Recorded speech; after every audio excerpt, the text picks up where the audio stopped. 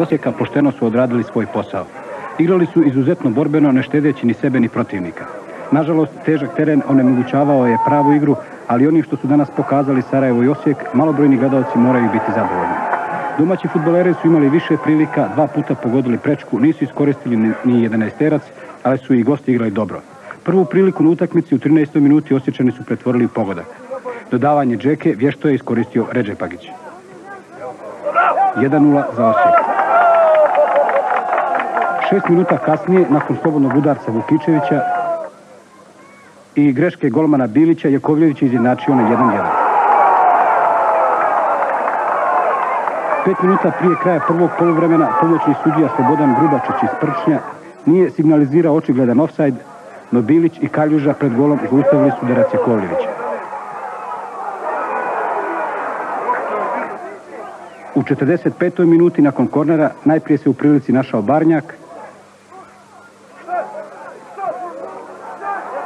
a zatim Teskređić sa 5 metara pogađa prečku. Nakon samo 40 sekundi igre u nastavku domaći su poveli. Pogriješio je Kasalo, do lopte je došao Teskređić i pogodio mrežu.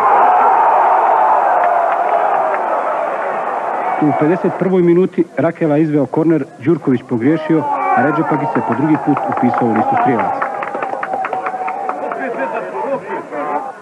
Poslije kornera u 70. minuti Popović je oborio Bobana Božovića i sudi Aldo Sobotić iz Rijeke opravdano dosuđuje 11 terac. Kaznu izveo Vukičević, no Bilić je izvršno intervenisao. Šest minuta kasnije, ponovo nakon kornera, najprije šutirao Jakovljević, potom Bilić zaustavlja udarac Jozića, a na kraju Boban Božović pogađa prečku.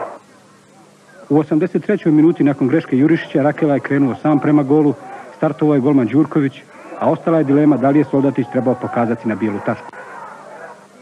Dva minuta prije kraja susreta, Džeko je opasno zaprijetio Đurkoviću.